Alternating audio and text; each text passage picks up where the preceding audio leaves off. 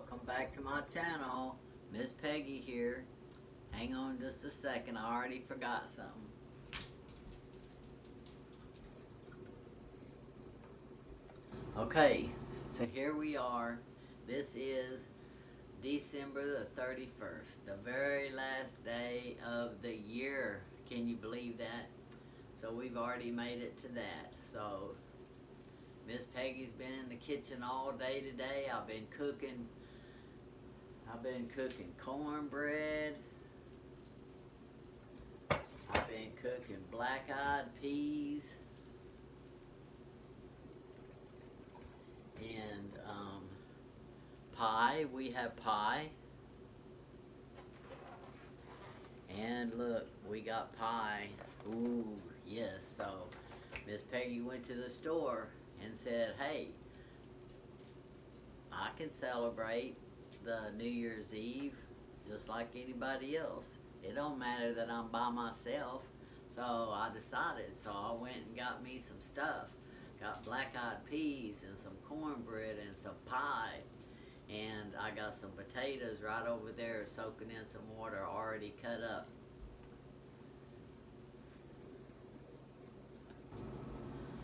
Just waiting for tomorrow. So tomorrow's gonna be an easy day for me because all I gotta do is heat this stuff up and fry some potatoes. So um, I am good. I've already eat a piece of pie as soon as I got back from the store. So yeah, so we are in the middle of New Year's celebration here in Cowtown. So come on in and let's party with Miss Peggy for New Year's Eve. So that's all we got to do. It is about 8.30, give or take a minute. Actually, almost 8.15, give or take a minute. and we got to go till midnight, so let's hope we can go. I hope, hope, hope that we can get there, but if we don't, then we just don't. But anyway, we're going to have a happy New Year's. So stick around. Okay, so we sure couldn't see the beans a while ago very good, so I'll get over here so you can see them. And I cut up some ham. I went and got some ham at the store. I was going to get the sliced breakfast ham. And then I always put a jalapeno pepper in my beans when I cook them. Now, I don't break it up. I don't cut it up. If you just cook a pepper in your beans. It will flavor it. It won't get hot. It just gives it a good jalapeno type flavor. And I've always done that. I've, I've, I really, I'm not a hot pepper person, but when you cook beans, no matter what kind it is, just throw in a jalapeno in there and let it cook. And it will give your pepper, I mean your beans such a good flavor. But anyway, there's my black-eyed peas for tomorrow. Um, I'm going to have plenty of money next year because I got a whole bowl of beans that I'm going to be eating. And Miss Peggy made some cornbread. I love me some cornbread. And this is my cast iron skillet. This was my mama's and it handed me down in the family. It is seasoned just perfect. Every time I use it, I just wipe it out and put some more oil in it stays great. And you can't have beans without some Dixieland Chow Chow. So I always like mild. But you have to have that. What a good New Year's I'm planning for myself. And you got to have pie.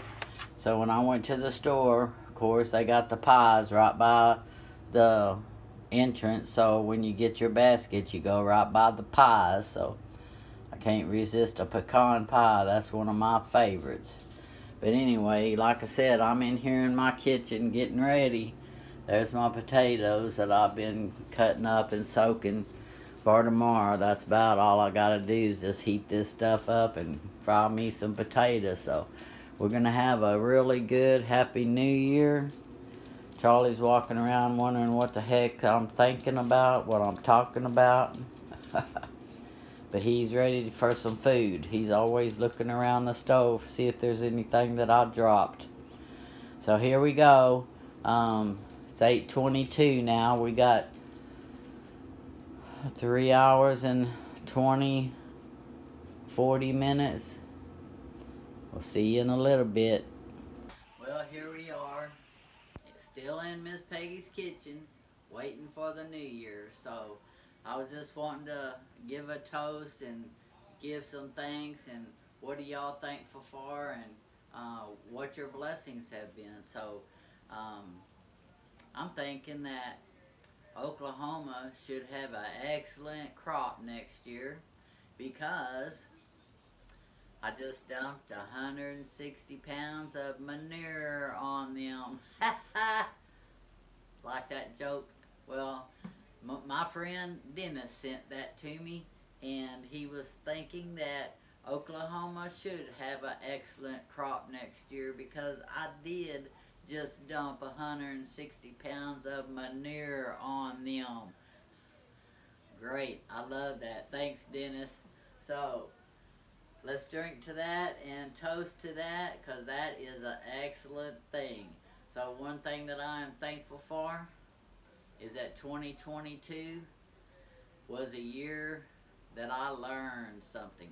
I had no idea there was people like that when I got out the hospital and I Googled what makes Robert scream and holler every time he don't hear what I, he likes, boom. Wide open, mouth open, eyes open. I never dreamed there was people like that in the world. I never knew they existed. But narcissistic personality disorder is a playbook that has his name on it everything that he's done in 18 years was in that. Go look at it. You'll know exactly what his personality is. I haven't read one thing yet that wasn't exactly. They said if you do this, he'll do that. If you say this, he'll do that. Everything was exactly, I couldn't believe that everybody that has that has the same answers that he does. It's like they're so predictable. It's almost like um, a driver's license test. It's all got the same questions. It's all got the same answers, and it's over and over and over again. And I just feel so stupid that I didn't know that. I didn't catch that. I don't know what I thought it was, but I just thought he had some personal issues he was dealing with. I don't know. It just wasn't my personality. I didn't let it affect me. But anyway, God bless Oklahoma. Okay, so I'm back. And I got everything cleaned up. I got the cornbread put in a bag. Got the beans in the refrigerator. I've almost successfully eaten another piece of pie today, not this evening. Mm.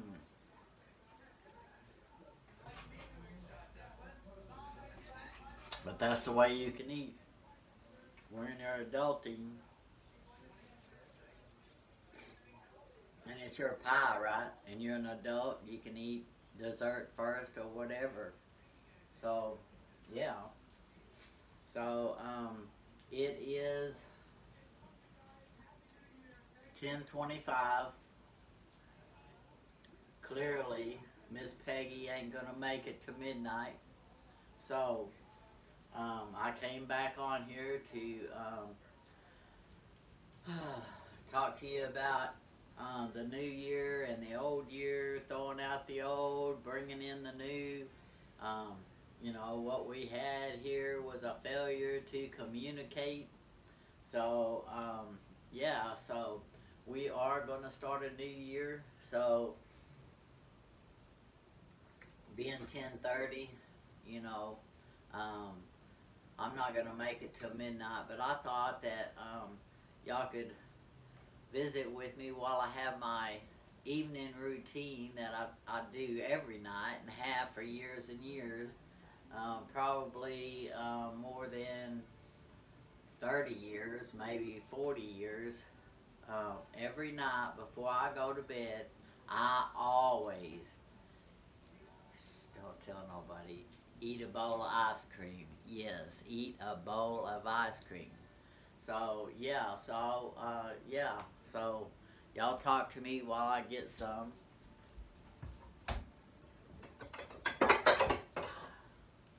I have a traditional bowl. I use this one. This is my go-to, my favorite bowl.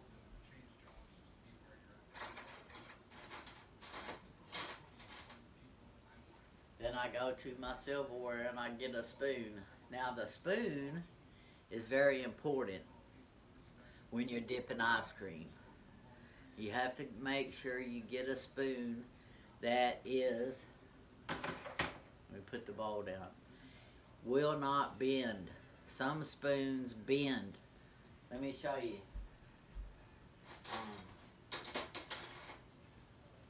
These spoons right here, these spoons, if you dip in ice cream, these spoons will bend. I mean, um, they just will. See? I mean, I can just bend them and they're just uh, bendable. But these spoons, they will not. So you have to get a sturdy spoon because sometimes the ice cream is hard in the container. So, you know, we're from Texas. In Texas, we like, and no, I don't work for them, but this is what we like. This is what our go-to is when we got pie or cake for birthdays. This is what we like. So, every night I get some, usually around 8.30. Now, it is a little late.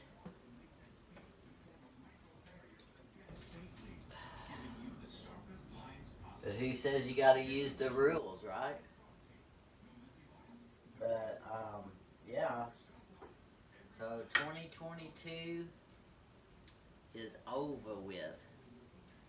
As of um, 1 hour and 30 minutes our time. Now, my friend and Cheryl in Florida, they're an hour ahead of me, so they only got an hour and 30 minutes. Uh, I mean, they got 30 minutes. I still got an hour and 30 minutes, but um, just depends on where you're at.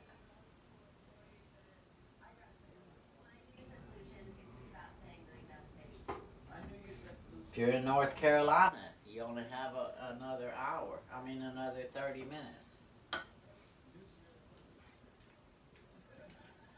See what I mean? This ice cream is so hard. That's all I can dip at one time to put in my bowl. And I have to have a spoon that don't bend.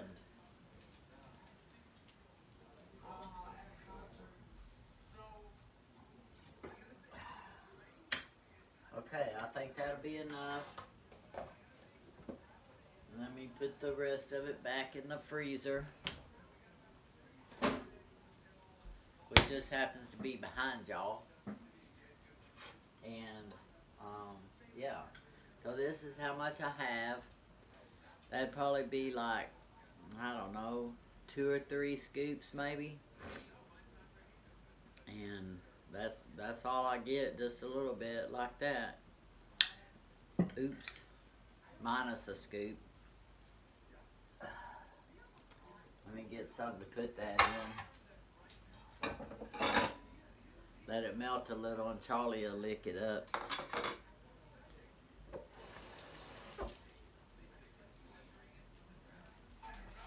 Always have been clumsy. But anyway, did you see that? Just jumped right out my bowl. So, yeah, can you believe New Year's Eve?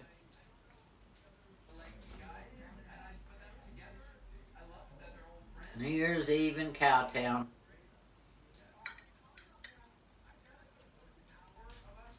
You know, I read the comments all the time, and one of y'all asked me how far I live from downtown Fort Worth. And I only live 10 minutes from downtown.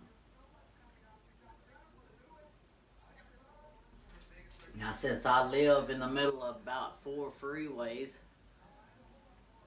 there's one on all four sides of me. Depending on which way you go, it could be 10 minutes, or if you go around the, around the other way, it might be 12 minutes. But I don't have to drive hardly a mile in towards downtown and I'll go down a hill and I can see downtown. So I can't really see it from my house, but I don't have to drive that far and I can see downtown.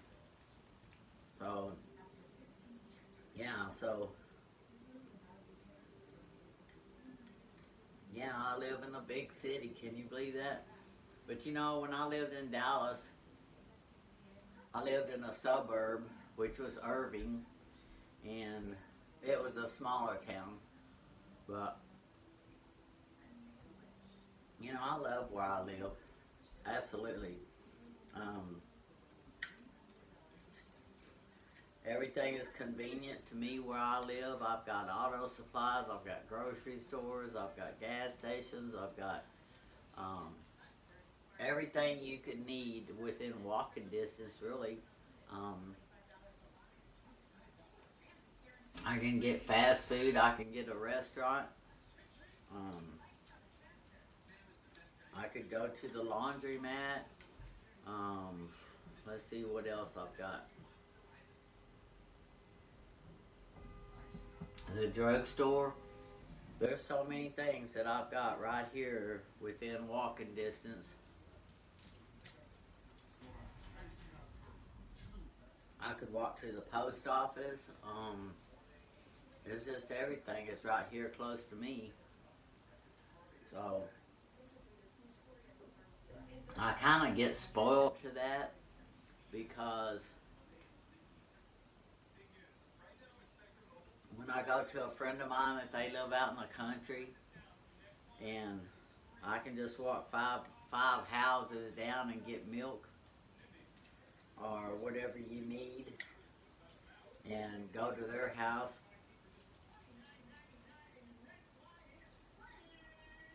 have to drive 12 miles to get milk. Sometimes further. But, um, yeah, everybody doesn't have all the convenience that I have. So,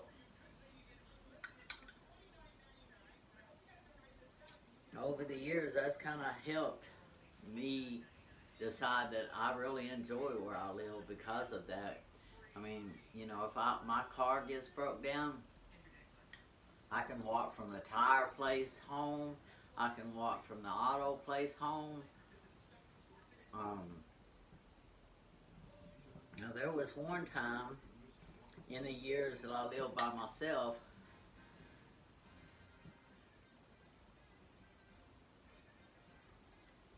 the closest mechanic for a vehicle was I don't know, it was like a mile from the house and since I knew I didn't have anybody to depend on and that I would have to take my van there or and drop it off and have them work on it, I would need a ride home. So I went to the pawn shop, which I have a couple of them close to my house also. Um, I went there and bought a bicycle, a 10 speed bicycle, and put it in the back of my van. And when I had to take it to the shop, which was a mile away, I would get that bicycle out and I would ride it home. And I did that for, I don't know, two or three years.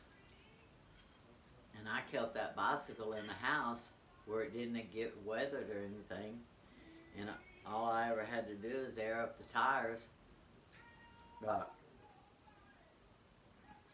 other than that, I've always been able to walk to the grocery store, to the tire shop, to the auto supply, to get food. Um,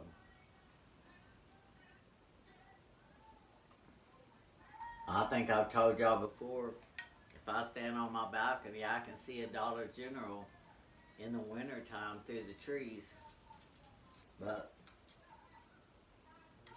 you know, when you live in the city, sometimes you live close to a lot of stuff. You know? Like I said, I've got some friends that live in the country. And um, when you go to the store, you plan ahead. And you don't forget to get stuff. You don't get back to the house and say, man, I, I forgot to get this or I forgot to get that. Because it's 30 minutes going back, you know? So when they have to do that, they make sure they make them a list. Then when it gets time to go to get the stuff, they just get the list and um, they don't forget stuff. Where if I forget something, all I do is go five houses and back to the store. It's not like it's that far. But I get spoiled to that.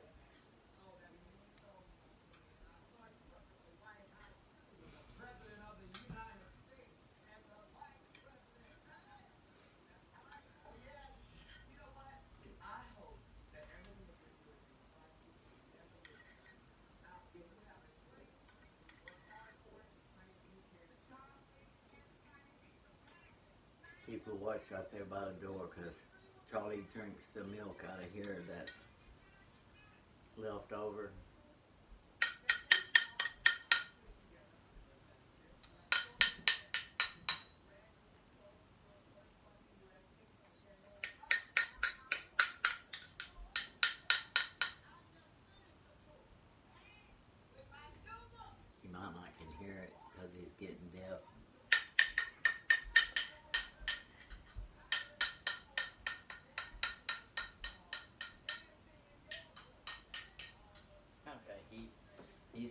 He's coming.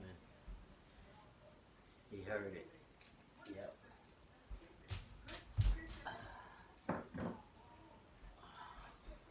Oop. I forgot about this right here. It hadn't melted very good, but that's the part I dropped on the floor.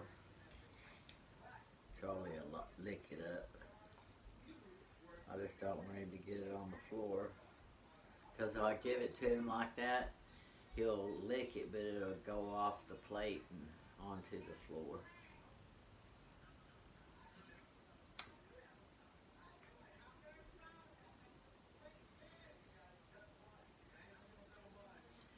Whenever we get to the last of the ice cream, Charlie knows it, and he knows he gets the last dripping out of the container, and I'll pour it in a bowl and he'll see that on the cabinet and he'll wait on it. He goes, I know, I know that's empty and I'm getting the lick extra.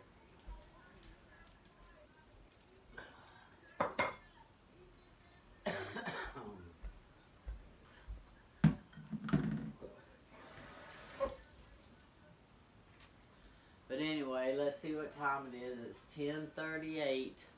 I don't know what time it was when we started a while ago, but 10:38 and I've already taken my medicine. Charlie's already taken his medicine and we're probably just gonna go get in our pajamas now, but um, Happy New Year and I love y'all and I want y'all to have a wonderful year next year and just let things go in the past. They're gonna be old 2022 and bring in the new and welcome the new with open arms and happiness. So uh, we're all starting fresh. Everything is going to be new and just welcome it. So when you wake up tomorrow, I hope y'all don't have a hangover too bad, but you know, Miss Peggy don't drink, so I don't have to deal with that. But Um, I know some of y'all do, but anyway, um, take you an aspirin before you go to bed. Sometimes if you take an aspirin, um, it'll ward off a hangover tomorrow. I think it's just Bayer aspirins is what you need to take, but anyway, I love y'all. Merry, Merry Christmas and Happy New Year. Um, next time you see me, it's going to be 2023. And uh, we're going to have new pennies to look forward to because tomorrow being Sunday, we've got the uh, 2020 um, 2023 New Year's uh, balloons, stick balloons and stuff are going to be pennying tomorrow. I'm not going to go look for some because every time I have gone out to go look for those kind of balloons, no matter if it's New Year's or 4th of July or whatever, my stores never have any. I don't know why. When I look in those little containers where they carry those stick balloons and stuff, all they ever have is happy birthdays, and those are the ones that I see. So, if y'all want to go look for them, they will penny tomorrow. All the New Year's stuff. Um, and I love y'all. Happy New Year.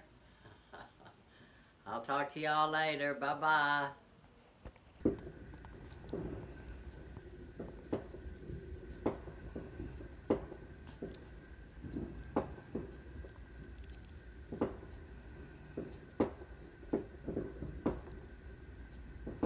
Happy New Year.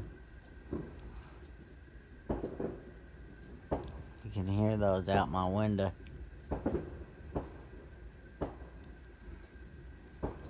I'm just laying here in the bed.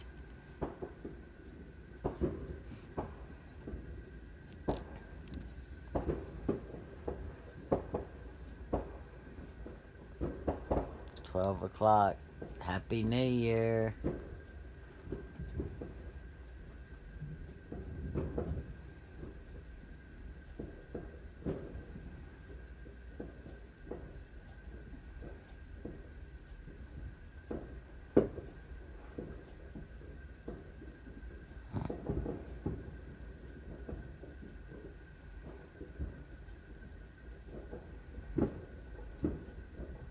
Lot of fireworks.